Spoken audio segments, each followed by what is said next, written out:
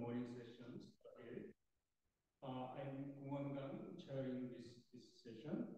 Uh, uh, we have uh, two talks on gravitational waves. The first speaker is uh, Professor Hyung Mok from Seoul National University. He's going to talk on gravitational wave cosmology. Okay, please. Good morning. I'd like to thank the organizers of this workshop for inviting me to give a talk uh, here. Uh, so my title is Gravitational Wave Cosmology. When I gave this topic uh, title, I have not a good idea what I'm going to talk about, so I gave a very broad, uh, broad uh, title. Uh, but I don't think I can cover all the aspects of the gravitational wave cosmology. I'll just mainly focus on what we are doing or what I'm interested in. Okay, so um, I'll start with a short summary of uh, gravitational observations so far, and then uh, then a broad overview of cosmological applications of the gravitational waves, and then uh, one of the important uh, topic is the measurement of uh, Hubble constant, the current status Uh, is presented.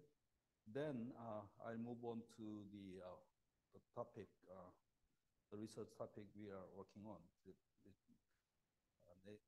uh, which, which are dark sirens in ground-based detectors and dark sirens in mid-band detectors. And also effects of the eccentricities in the mid-band. These are more specific topics. So uh, gravitational wave observation started in 2015, and uh, right after is uh, the beginning of the uh, first observing run, we have detected one uh, black hole binary, and then there have been uh, many, many gravitational wave sources which are discovered by the ground-based detectors. So the, this figure shows the timeline of the observation observing runs so far. So the first observing run uh, started in 2015 and lasted until early 2016. And then uh, second observing run started in uh, late uh, 2016 and uh, until uh, August 20, 20, 2017. And the third observing run, which started in 2019, then uh, ended a little bit earlier than uh, scheduled because of the breakout of the COVID. As you can see that there are three detectors, LIGO, Virgo, and Kagra, and the first observing run was only uh, done by LIGO. Then our uh, joined in the very last moment of the second observing run. And then uh, third observing run, also Kagra joined almost at the end of the uh, third observing run. So the, uh, the detected sources are summarized in these uh, catalogs, the gravitational wave transient catalog, which has names GWTC1 containing 11 events coming from, from O1 and O2, and the up to O3A. So uh, O3 was divided into two. Uh, so three, three, uh, six months each.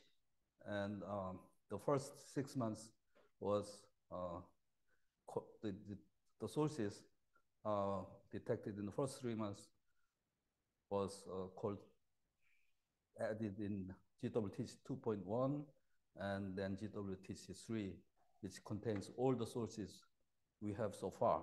So total number of events is 90. And out of 90, there are two binary neutron stars and uh, three black hole neutron star binaries and two uncertain uh, sources and uh, 83 uh, black hole binaries. So majority of the sources are black hole binaries and there are a small number of uh, sources containing neutron stars. These are the, the diagram showing the masses of the gravitational wave sources. So the distinction between uh, black holes and neutron stars are mostly based on the estimated masses. So the, uh, if the masses are less than, for example, five solar mass, three solar mass, and then these are called binary neutron, uh, neutron stars. And if the mass is much larger than five solar mass, then uh, they are definitely black holes. Uh, but of course, we have a lot of uncertainties, and uh, so the uh, between between three and uh, five, they are called uncertain sources. Okay. Now the outlook. So the we are about to start the fourth observing run.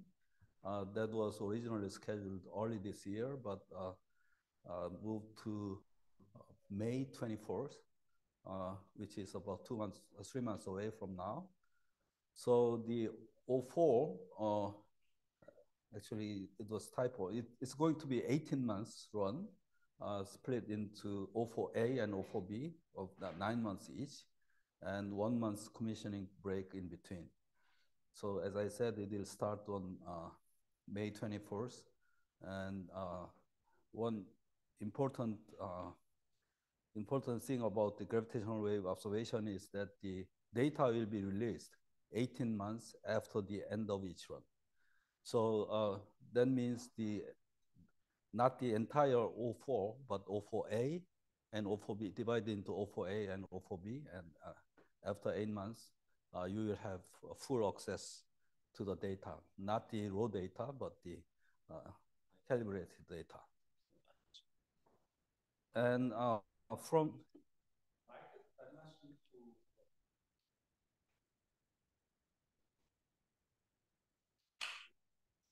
uh, uh. It, it now works. Yeah, battery is very low. Sorry. Shall I continue? Yeah, continue. So during this uh, first observing run, we expect uh, to have around 300 uh, black hole binaries and maybe nine events containing a neutron star and uh, one or two multi-messenger binary neutron stars. Multi-messenger means the binary neutron star merger uh, with the electromagnetic radiation. Of course, uh, from this, this is continuous observations. We may, uh, may have some, something we have not expected, but uh, very interesting. That's what we call natural surprise. And the uh, fifth observing run, uh, schedule is a little bit uncertain, although it shows that it will start in 2026. Uh, but this is just a, just a current guess. And one important thing about this, uh, this diagram is that the, we have significantly increased the sensitivity uh, throughout, uh, through different observing runs. So the number here, 80 megaparsec, is the uh, range of uh, detection of binary neutron star with this detector. And second observing run, it reached 100, and third observing run, uh, between 100 and 140. And fourth observing run uh, will reach uh, between 160 and 190. So you can translate this into volume. And if the volume increases by a factor of two, you have a factor of two larger number of, uh, of detections. Okay, now uh, let me move on to uh, the actual astrophysics. So uh, from gravitational wave observations, we can uh, determine many parameters, uh, including distances. Uh, this is a luminosity distance, and masses of individual object, and spin. Of course, the, these are the these parameters are not very accurately determined, especially the spin is the uncertainty in spin is very large. Uh, there are two reasons. One is that the so far we found that the most of the black holes are not really rapidly rotating, so the uh, spin parameters are relatively small, and uh, also we don't have.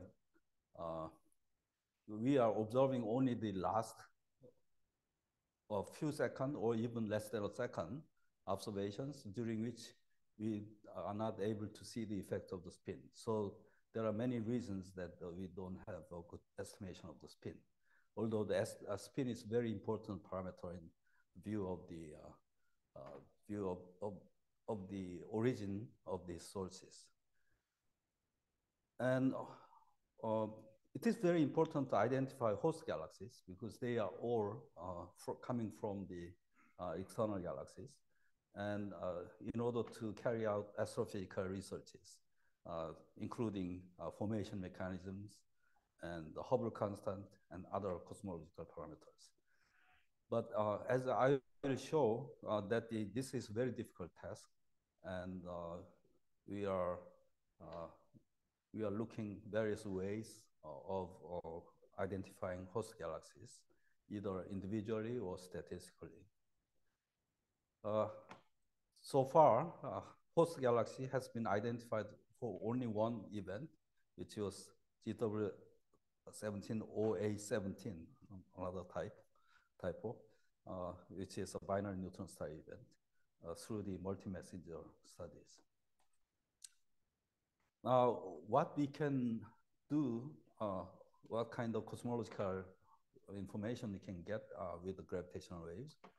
Of course, as I said, we can measure the distances to the object. That's, that's very important uh, because of the expansion history of the, of the uh, universe has been based on the measurement of distances and redshifts.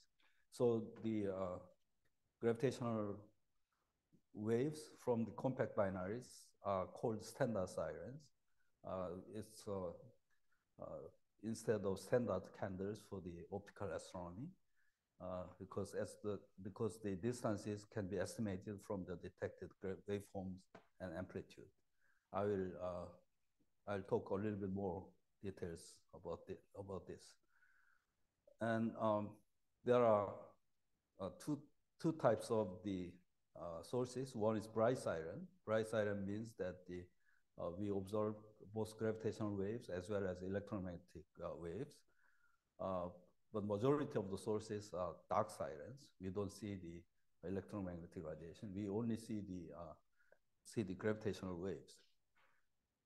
And we need to identify the host galaxies. I'm repeating this because this is very important in order to measure the redshift and also the uh, in order to construct the Hubble diagram, etc.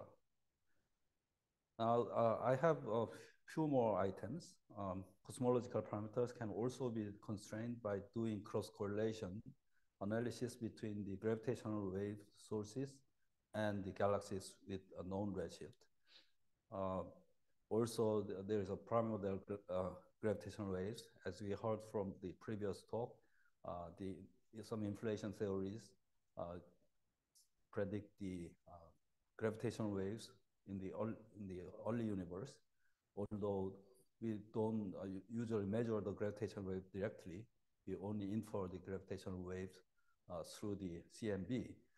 But of course, if we measure the gravitational wave directly, this is uh, very important. And the, this is called uh, primordial gravitational waves. Uh, this is, of course, uh, extremely difficult to observe, and we don't know the details of the primordial grav gravitational waves because there are other, other sources not only from cosmological origin, but also comes from the very distant universe. So uh, this, this is a, a, very interesting topic.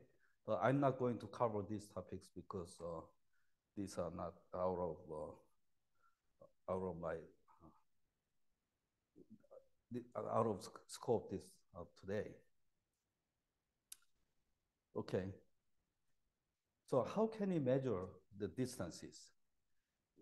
So gravitational wave waveforms waveforms uh, of the binary merger depend on many parameters, as I said uh, with masses and spins being the most important ones. Uh, these parameters give also give gravitational wave luminosity. So we measure, measure the parameters just purely based on the waveforms, which is uh, distant in, uh, independent. then uh, we measure the amplitude of the gravitational waves. Uh, so if the amplitude is uh, very small, although the masses are large, then it means they are far away and vice versa. So that's how we measure the distances. Uh, the distance estimation from the gravitational waves does not suffer from systematic uncertainty, uh, unlike the use of variable stars as standard candles. So I think you may have heard about the Hubble tension. Uh, Hubble tension is the, uh, uh the difference between the Hubble constant uh, estimation between CMB and the local measurement are quite different. And uh, so much more than much more than the statistical uncertainty. Uh, but uh, there is a, there could be some systematic uncertainty in the measurement of distances based on uh, based on the variable stars because we uh, have to estimate luminosity of the variable stars uh, from other kind of consideration. There is no direct measurement. But in gravitational waves, the luminosities are measured it's not measured, but they are computed uh, purely based on the Einstein's general relativity. So unless the general relativity is wrong, we have a pretty good uh, the estimation of the luminosity distance uh, without any use of the calibration. But there, there is a caveat. Uh, the gravitational wave distance estimation is subject to large statistical uncertainty, which means that individually you have a large uncertainty in the estimated luminosity distances.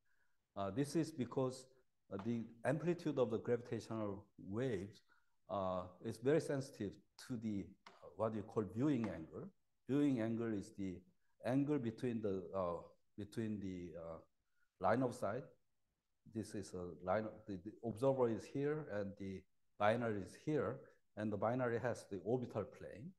And the uh, viewing angle means the angle between the orbital plane and the observer. That's, that's what we call viewing angle. And it depends on the viewing angle very sensitively. So if we are, if we are uh, seeing the, uh, the, the binary systems as face on, the, strength is very large, but if, if it's uh, 90, 90 degrees from the uh, face-on direction, then the gravitational wave signal is very weak. But we don't have a good way of measuring this viewing angle. So uh, the uncertainty due to viewing angle is very large, uh, could be uh, even factor of two. And uh, if there is no other way, we have to rely on the, uh, the uh, uh, statistical reduction of, of the individual distances.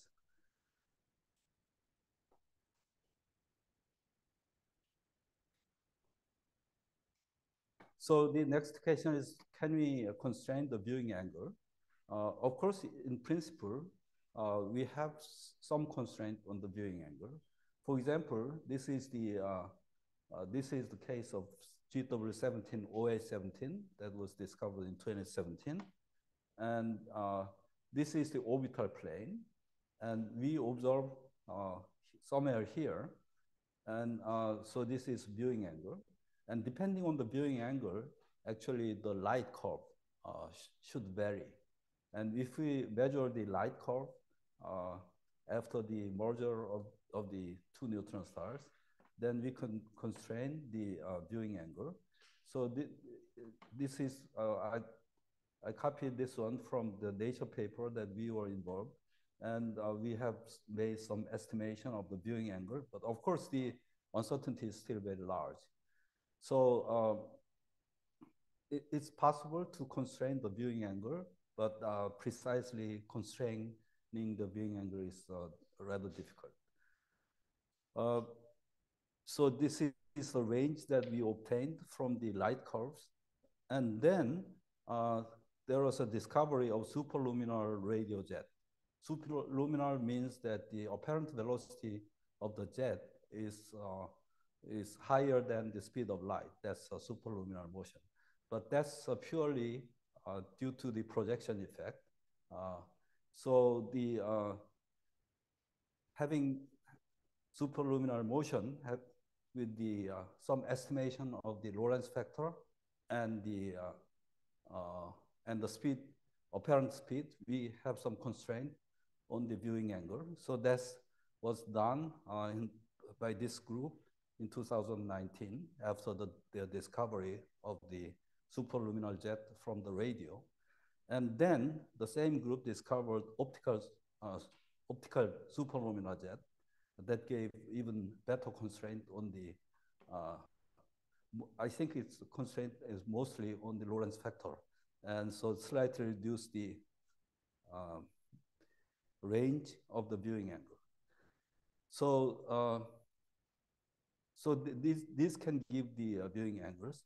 One uh, also important thing is that the very early detection of the electromagnetic counterpart of the binary neutron star merger events, uh, because the after the merger, the, the brightness uh, becomes faint very rapidly. So the if you you don't discover the uh, counterpart very early on, you may lose the opportunity.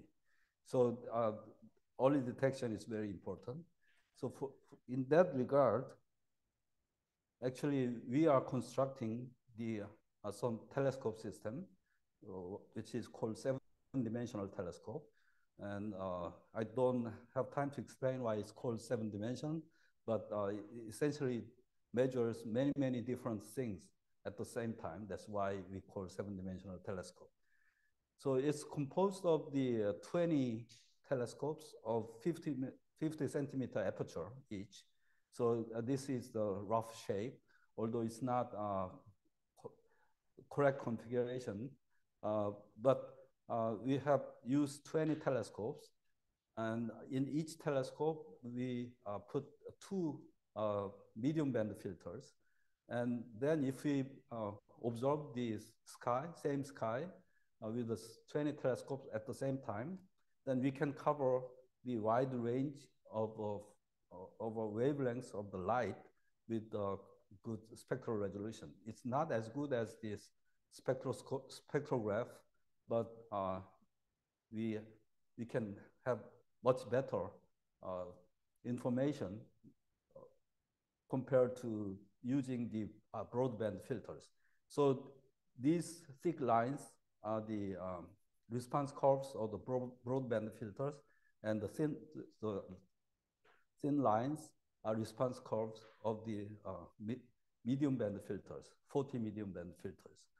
So uh, we can cover large area of sky repeatedly uh, with this telescope, and then uh, this is uh, this will give wide field time domain IFU type spectroscopic information. IFU means uh, integral field unit, which is a three-dimensional kind of uh, uh, spectrograph.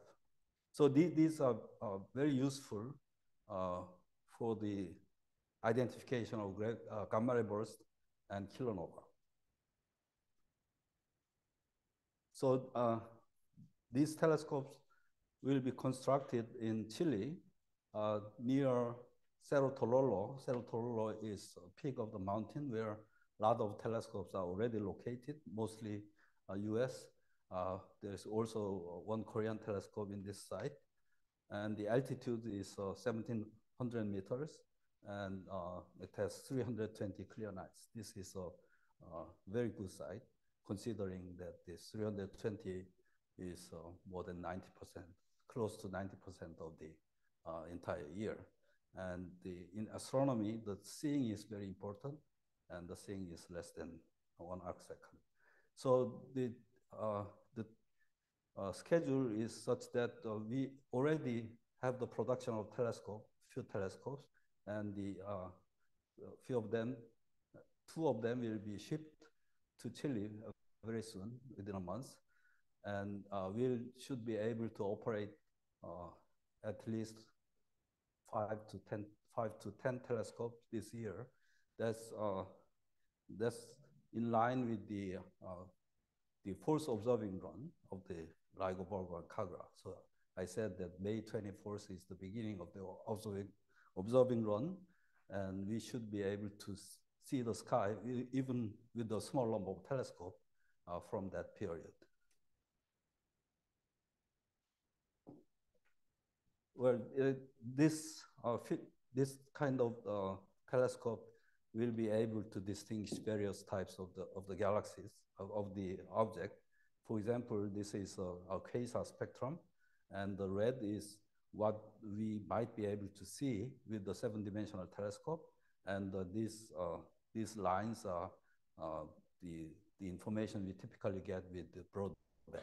So with, with the broadband, we don't have good information about the spectrum of, of the object, but with seven-dimensional telescope, we can distinguish many, many different types of the uh, object. Okay, uh, so the current status of Hubble constant measurement. Actually, uh, this is the uh, probability, posterior uh, probability distribution of the estimated Hubble constant with the gravitational waves, various lines. So uh, I don't have time to explain, but maybe you can just, uh, sorry, see the, uh, the errors. So with those uh, gravitational wave alone, uh, we have this type of errors, pretty large. And the, uh, we, if we add the, some information about the uh, dark sirens, the, uh, we have some reduction, but this is not uh, that great. And the, with radio and optical superluminal jets, I explained the superluminal jet earlier, and then the errors become small. And uh, the central, the median value, uh, the peak value of the Hubble constant also changed from 68 to 72. So th this is also interesting. But the official value of the Hubble constant from the LIGO scientific collaboration is this. This is best, uh, best number so far we have. So um, assuming the Poissonian noise, if you have just two, then we may be able to reduce the error by uh, scale, scale of two, which is not also enough because the, uh, the, we need to have kind of 1%, 1% accuracy of the Hubble constant, which is uh, less than one kilometers per second per megaparsec. So, uh, so uh, the, we don't have uh, the resolution of the Hubble tension so far, but gravitational wave have a potential to, to resolve. Now, the, the most important thing to measure the Hubble constant or any other cosmological parameter is the, uh, the identification of host galaxies because uh, from the gravitational waves, we only know the distances, but we don't know the redshift. So uh, in order to construct the expansion history, we have to measure both distance and Hubble, Hubble uh, distance and the uh, redshift. So in order to measure the redshift, we have to identify the host galaxies and uh, we have to use the spectroscopy.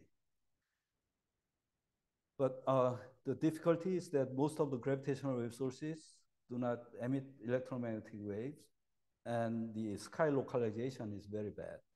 And the most uh, main reason of the difficulties in uh, sky localization is that the, we don't have a really good uh, time resolution because it uh, relies on the uh, triangulation, triangulation, which means that the, depending on the location of the uh, gravitational wave detectors, you, you will have different arrival time.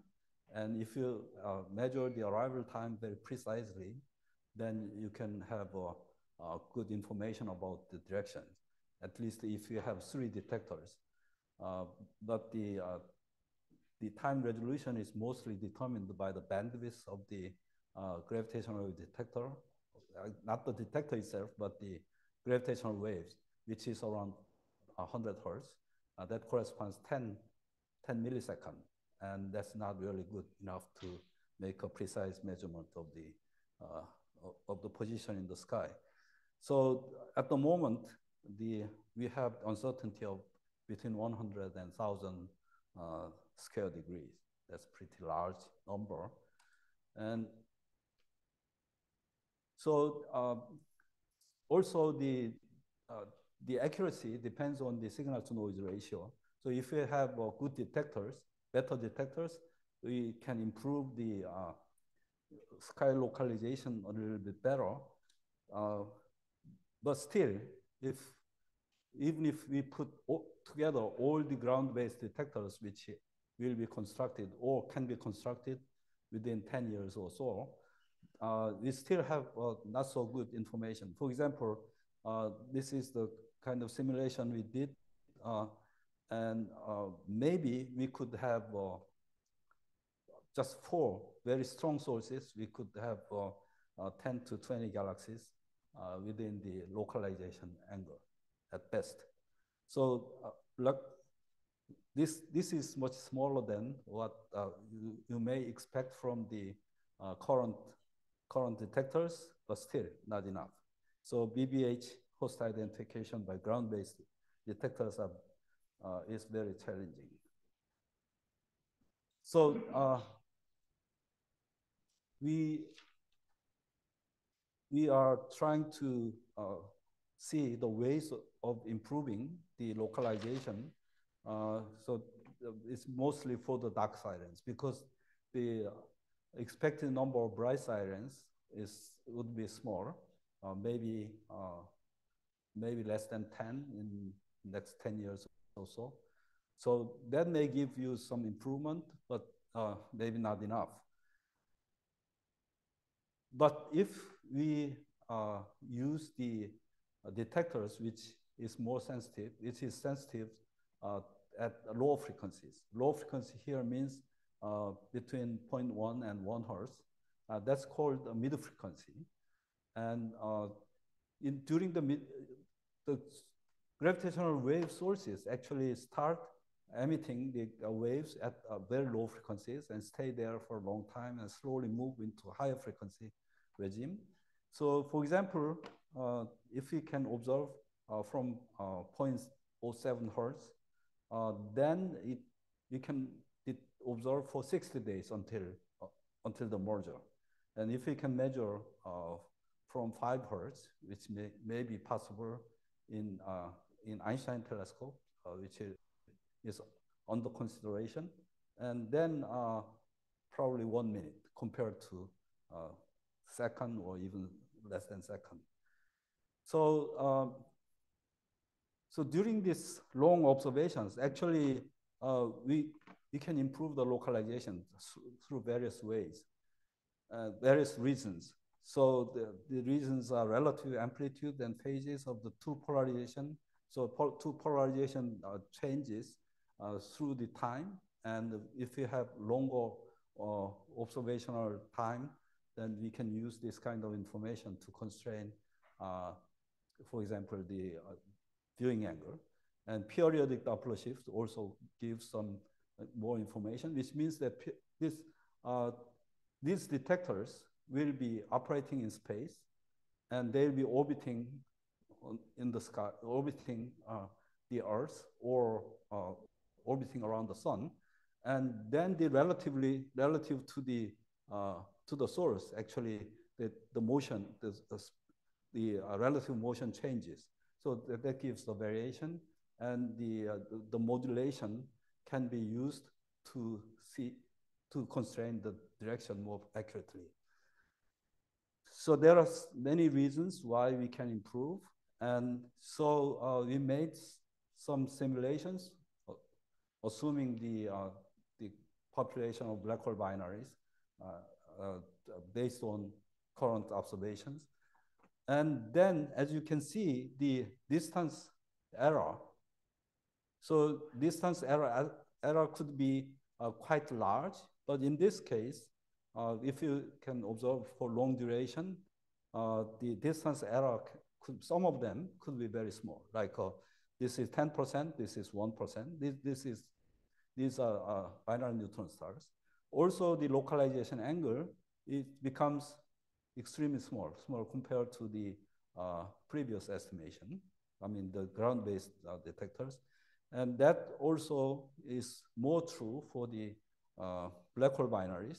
So the, the, there are many sources with the distance error less than 10%, and the localization of uh, 10 to minus 3 square degrees. And then you can uh, define the localization volume instead of just a, a, localization area in the sky, because we have uncertainties in the distance and uncertainties in the uh, localization angle that gives you the, the volume.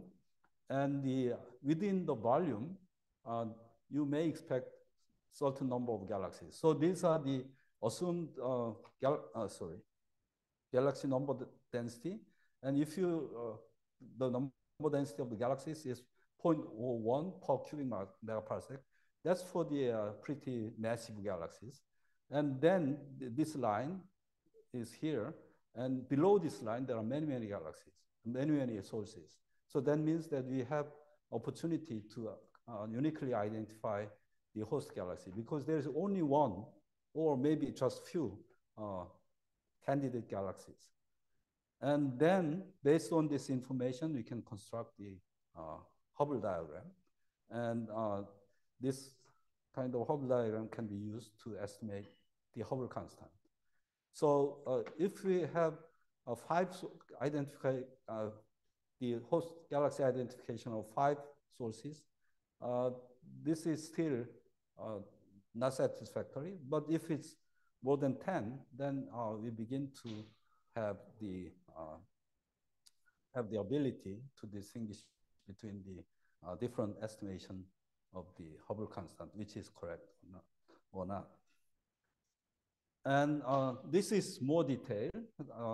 So if so far we have assumed that all the black hole binaries are on circular orbits, but we may expect it's not a big fraction, but small fraction of uh, the black hole binaries are in uh, eccentric orbit. Then uh, the, we can improve the localization as well as the distance even better.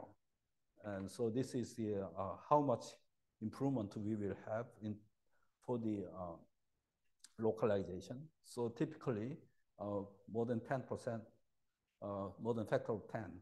So so this small number of eccentric orbits, uh, th this could be a small number, but they give very precise information about the distances and the angle, and uh, they can be very, very useful for, for the future. But there are some issues. Uh, so we have to observe for uh, 60 days, two months, three months. And during that months, uh, during that long period, they emit a lot of uh, gravitational waves, so source cycles. And we need to have a uh, very good uh, waveforms. That's, uh, that's not an easy one, but we are working on this. So uh, let me summarize. Uh, identification of host galaxies is very important. Uh, so the follow of the follow observation in electromagnetic wave is obvious, but such sources are rare. so we have we looked at the black hole binaries of course, we need uh, new types of detectors, but there are various uh, detectors that have been proposed. And even in, the very early, uh, early type of such detectors operating at uh, mid frequencies will enable us to identify the host galaxies and make a precise estimation of Hubble constant and even the uh, acceleration or deceleration parameters. Thank you.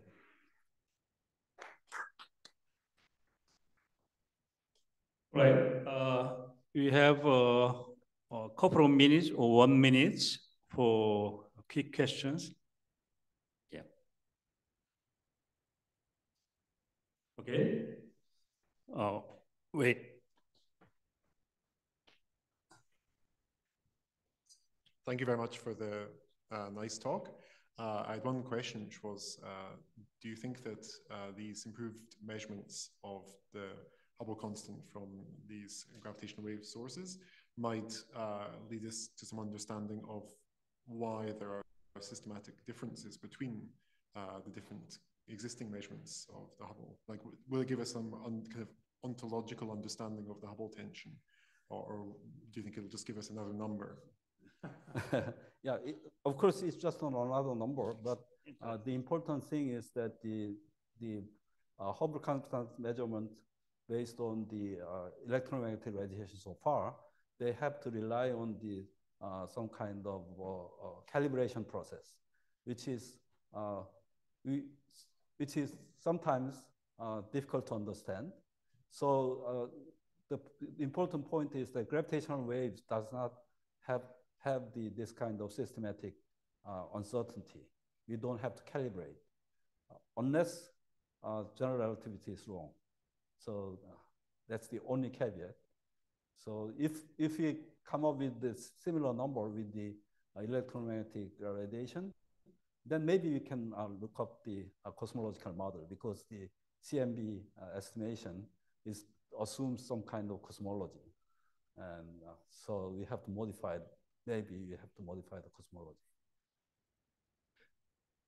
But you pointed out that the Hubble constant moved to toward the uh, yeah. results. Yeah, this is uh, still the, there's a lot of uh, statistical uncertainty. It's just a central value. So I don't. Nobody is really uh, make a big, big point out of this. Uh huh. All right. Uh, Oh, you have, okay. Thank you very much for your wonderful, nice talk. Uh, yeah, it's amusing to see another measurement for the Hubble yes. constant parameter. So you said the radio or optical superluminal jets you have yeah. better, I mean, smaller error bars yeah. the Hubble measurement. Is there any uh, future perspective to uh, decreasing the error bars uh, in this measurement? Yeah, so this 170817, we, we are lucky in many aspects because we were able to detect the both EM and gamma ray, etc. So, uh, but we don't, we are not sure whether we can, will have similar luck with the future observations because this, uh, we may expect a few more, but uh, some of them uh, will not be similar to GW170817. But if there, there is any other, just even one source with this kind of superluminal jet as as uh, uh, gamma rays, etc., then uh, I think we can reduce the error significantly. But still, I, I think at, at, this moment, some of them are rely on the models. So the uh, uh, one of our efforts is to to look at the models. So there's some model dependency. I mean, the jets and so on. So, mm -hmm. so systematic. Yeah, that could give another systematic. Mm -hmm. So. Well, related to this issue, uh, you you are you are planning to make this 7DT. Yes. So uh, would you say a little bit about the operation schedule so that? So, so uh, I, I went uh, very quickly, but we will uh, synchronize with the uh, LIGO observing run. So at least in May, uh, when the LIGO observing run starts, our, some of our telescopes also begin to operate. Okay, good. Well, we have many interesting questions, but uh, time is already over. So let us thank the speaker again. Okay, next speaker is uh, Youngmin Kim from UNIST.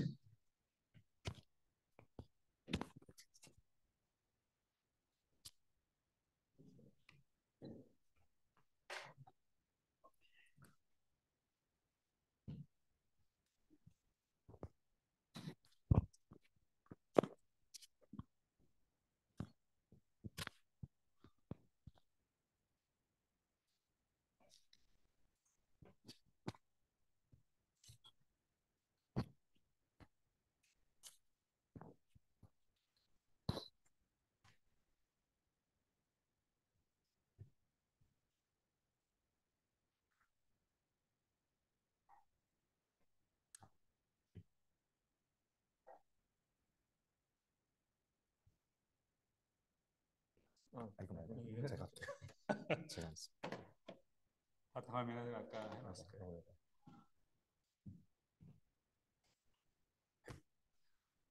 Okay, uh, he's going to talk on gravitational waves and neutron star equation of state. Uh, okay, you have uh, 30 minutes. Okay. Yeah. Hello, I'm Youngmin Kim from UNIST. And first of all, uh, I'd like to thank uh, the organizer of the workshop uh, for this opportunity. And uh, today I'm talking about the gravitational waves and the neutron star equation state. This is uh, contains my work, and let me start. Let me start with the tidal deformability. The tidal deformability of the neutron star is uh, physical parameters uh, to uh, show some distortion due to, due to the external tidal field. And the mathematical relation is like this. The small lambda is the tidal deformability, and the can use this one, this one.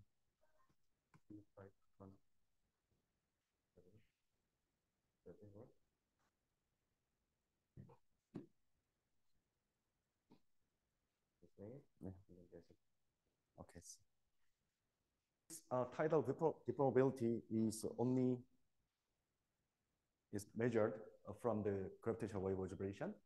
And during the uh, inspiral, inspiral phase in the binary system, uh, when two neutron stars in the binary come closer to each other, toward each other, and then the tidal effect is getting larger, and then those effect is cumulative in the waveform, and then we can see the tidal effect in the from the observation of the gravitational waves.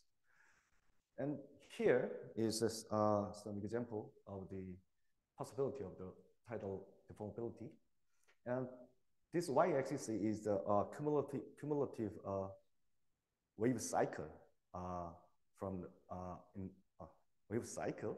And if we want to see at least the effect of the this tidal tidal deformability effect, and we need to see at least half cycle from the uh, waveform models. And then up when we observe up to the about the 600 hertz and then the half cycle, we see, we can see the tidal effects from the uh, gravitational wave observations. And, and as you know, many of you, as many of you know that the GITO 17 is the uh, gravitational signals from the binary neutron stars. And of course, the, the, we succeeded the EM follow-up. And the tidal deformability, the measurement tidal deformability is succeeded like this. The lambda one and lambda two is the tidal non-dimensional uh, tidal deformability of the uh, two neutron stars in the binary, and uh, the distribution of the the two uh, two dimensional distribution of the tidal deformities is shows in the green regions. Green region result comes from uh, comes from the the uh, EU equation of state insensitive relations. The meaning is, is uh, no, uh, uh, no assumption, no assumption from the specific equation state. But the, we, in, for this green result, uh, the, some, uh, mass rate, the relation of the mass ratio, compactness, uh, compactness and the tidal primitive. That uh, some empirical relation is used. So the, the measurement is right here. But uh, we can also uh, use some uh, parameterized equ equation of state, for example, the uh, piecewise polytrope. And when using when using the some uh, some advanced advanced model based on the piecewise polytrope, that result shows in the blue line. This blue solid line is a 9% percentile credible region from those from those the EU, parameterized EOS. And from that use that, that result, we can uh, uh, we can estimate the, some equation of state, empirical equation of state, uh, like the right figure. The x, x-axis is, is density, and the y-axis is pressure, and then this blue region is the a posterior distribution for the equation of state. At uh, when we using the some uh, when we using the poly, uh, parameterized equation state. So and this is tidal deformability, and we can make uh, we can make the uh, radius distribution from the uh, in some relation between the mass and the mass radius and mass, mass radius compactness or something like that. And then uh, the mass uh, radius distribution is like that. And left one is, is the result from the EOS insensitive relations. And then right one is the, using the result by using the parameterized EOSs. And here is the, we can see that we can measure the radius from the observation. Uh, so uh, my collaborators and myself uh, uh, want, wanted to study the equation, equation state uh, for describing the, this result. And then we pick up the some many some equation state known well known well known equation state and also the we use the KIDS. KIDS is uh, uh, empirical equation empirical model based on the density functional theory and then and and this equation is uh, was developed by the Korean collaborator members and then this uh, blue line blue solid line is uh, shows uh, well consistent with the result of, the, of the gravitational uh, GW 17 by 17. And right figure shows the tidal probability uh, with respect to the mass, and then the solid line is the, our the result from our model, and then shows some uh, different uh, equation state. And also, uh, we generate, we check these um, insensitive relations, uh, universal relation of the, for the tidal deformability. And then the tidal, actual tidal deformability is, is, uh, is insensitive. Uh, in, in this case, uh, the relation between the lambda and the mass ratio is insensitive to the equation state like this and also the mass ratio. The, also the in uh, uh, uh, close around around the, the equal mass case, the tidal deformability is also insensitive to mass ratio. This is also our result. But the, uh, some years later, the NICER, NICER telescope reported as some result from the pulsar. And then in here, the, the NICER uh, succeeded uh, uh, simultaneous measurement of the mass and the radius. And from, the, from the, this result, we see uh, larger radius for the pulsar compared to the gravitational wave observation. And also for the two Solomons pulsar, also the, it shows a larger uh, radius. It means that this, this result from the NICER is, it consists with the, some steeper equational state. But the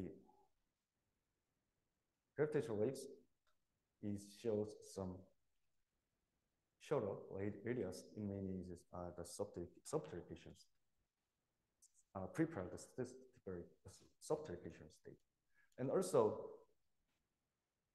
uh, uh, and also the, uh, there is, there was uh, uh, some experiment for uh, measure, measuring the neutron skin thickness of the lead.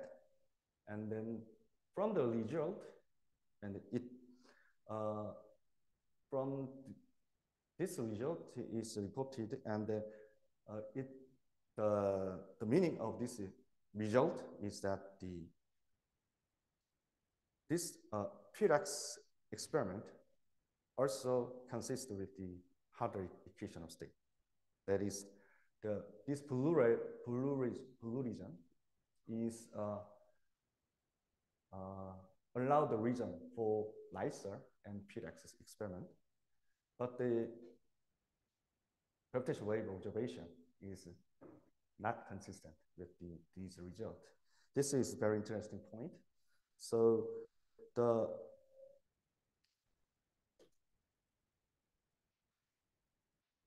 so so I wanted to uh, uh, study the why these differences exist and then how can we uh, describe this, this difference or, or how can we uh, merge this result and then we can make the unified result.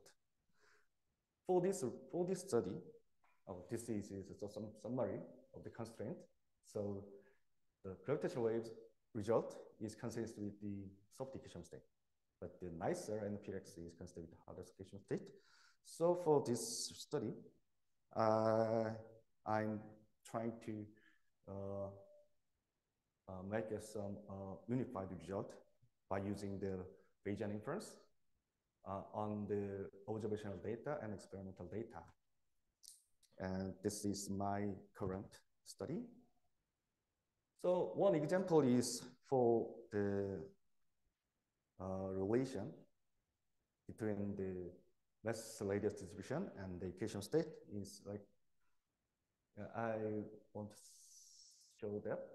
Uh, this is one example. The left one is gravitational uh, mass radius distribution of the gravitational wave observation, and right one is the uh, mass radius distribution of the pulsar by NICER. And when we adopt the uh, piecewise polytrope and and then make this some Bayesian, we do some Bayesian inference and then make the posterior samples, then it shows like this result. Uh, this uh, parameter is uh, P1 is the pressure at the junction between the low density and high density. And uh, the gamma 1, gamma 2, gamma 3 is the uh, adiabatic index for the piecewise polytrope at high density. For the three region at the high density. And it is showing this result. The log P1 value is uh, somewhat similar between two measurement, two observation. But uh, at the, uh, the parameters for high density is uh, somewhat very different. It means so different mass, mass and radius distribution is uh, uh, very, very different uh, equation state, but this equation state is not good for describing the finite nuclei.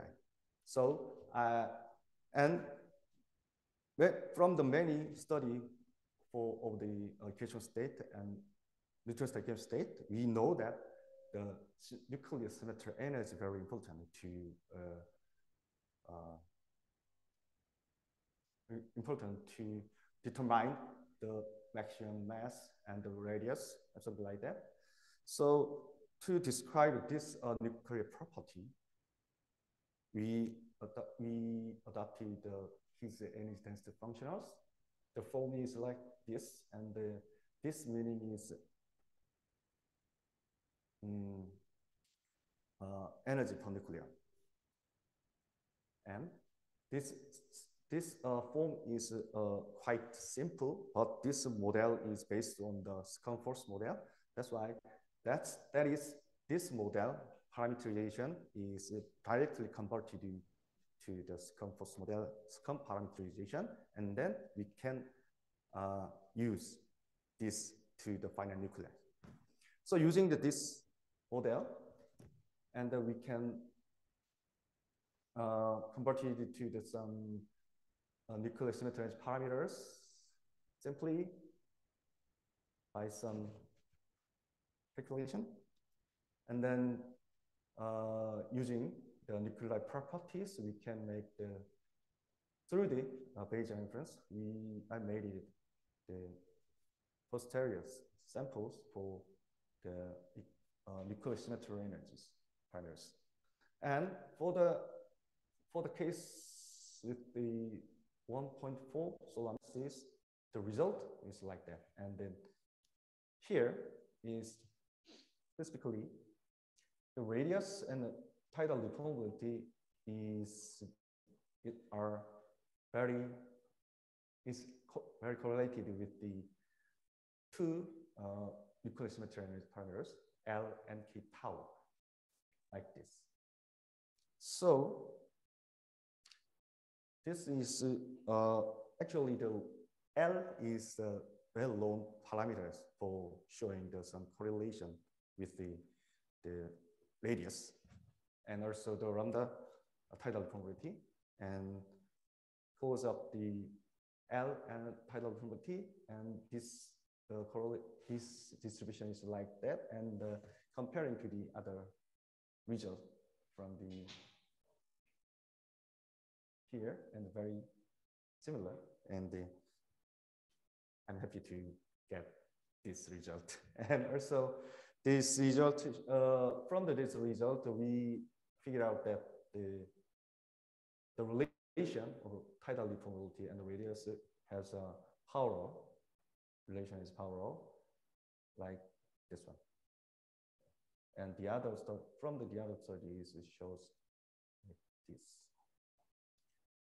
And also I checked the, uh, some one thing. The case parameterization is uh, actually, uh, we can ignore the some, uh, some parameters for the finite nuclei. Only we can use the, uh, some for the nucleic matter. And in that case, the result shows like that. But we, if we consider the, some parameters for the nuclei, and the result is like that. And compared to this, this, and then we can see the differences for the mass uh, radius lambda radius and tidal distribution, also the L and K tau is different distribution. In other words, if we measure the precisely the radius and the tidal deformity, and then we can constrain the L and K tau. The meaning is we can give us some better constraints on the Kirchhoff state, also the some property of the nuclei. And this can be applied to the heavy ion collision. And RAON is uh, the Korean uh, rare isotope accelerator. And uh, among, the, among, among the proposed experiments, the lens is for the project to study the dense matter and the nuclear symmetry, measuring the nuclear symmetry energy, and also for the neutron star state. And from this result, we can apply to the heavy collision simulation. And then if we unified all these things, we can we can make the, some model uncertainty or we can make the, some uncertainty quantification and then we can uh, describe more, precise, more precisely for the some relation of the uh, neutron star physical parameters and then and the nuclear parameters. And for this, uh, we need to measure precisely the tidal deformity and go back to the some observation side, detector side. Of course, the gravitational detector should be good, good as good as uh, the see the good uh, physical parameters. But the, uh, at uh, data analysis side, if using the by using the some noise reduction, noise hunting, and also some statistical method, to reduce the non-stationary noise. Through the dump method, we can uh, make, make better data status, data quality, and then uh, we can get better result from the posterior samples. So this is some test uh, with the same injection parameters with on the different data. And left one is data from H1 and right one is data from the L1, Livingston from Livingston and Hanford. And these two data is basically the different detector status. And but the the overall performance of the detector is the BNS range is about 100 megaparsec, and the, for Livingston is 130 megaparsec. But the naively speaking, this should be good. But uh, when injecting the same uh, signals and uh, doing some uh, uh, parameter estimation, the process, uh, the result, the process sample is like I get I got this result. And as you see this, the same injection, but the, for the different uh, detector status, we get the different uh, radius distribution. And at least this case is, in this case, yes, uh, even the BNS range is rather, but the, I think the non-station range is uh, much more than the Hanford. That is, the distribution is, uh, the uncertainty is uh, more on the posterior samples. So, uh, precise to measure the precise value of the tidal permeability of course, we need to better state, take the status, but at, and also we need to some uh, detect the characterization and the denoising, something like that. We need those. Uh, we need also need uh, uh some uh, noise reduction at, through the data analysis. That is also important.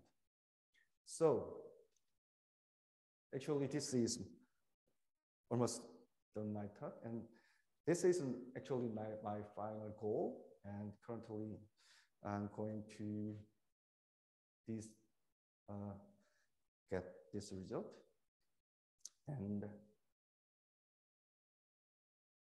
yeah, so actually this is actually currently, currently my status.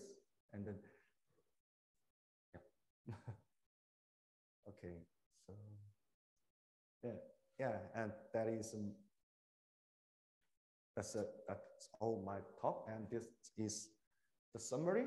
And just I want to emphasize one thing that is the we need to precise estimation of star, and it is important to study the, the dense matter dense matter nucleus matter. And for this, we need to uh, actually uh, observe more event from the BNS or neutrons or NSBH uh, with the better detector status. And that's all my talk. Yeah. Thank you.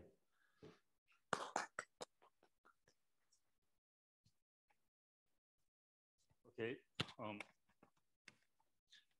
now we, we, we are taking uh, questions.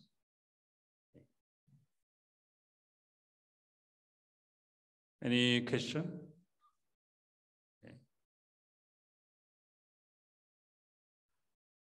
Uh, we have some question from the uh, online. Okay. Actually, uh, the idea uh, relating to the Raon physics is, is quite interesting. So uh, basically, uh, the result from Raon experiment can be used to uh, make the precise uh, uh, equational state. And then you, you apply that to the uh, gravitational wave observations. Yes, sir. Okay. So uh, is there some uh, some people in Raon who are working on this kind of top, uh, project or topic Uh, there is other than you? I mean, yes, some people working on Uh. this, but not for gravitational waves, but only for only Uh. for only for this. Yeah, only for the collision simulation side. So or some and the actually the lens experiment is for uh, the study of the neutron, uh, dense nuclear matter and then the neutron stationary state. And the first one, and as I know that the one important thing is that the measure the symmetry energy. Yes.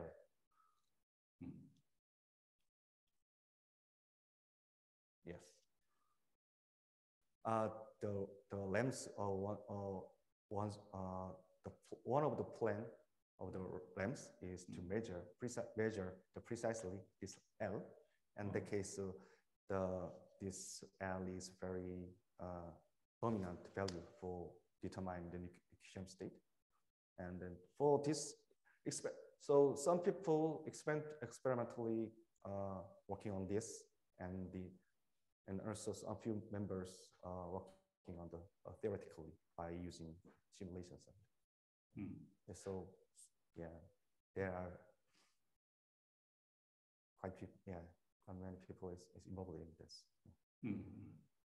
Okay, uh, this is actually the pa- many particle physics workshop.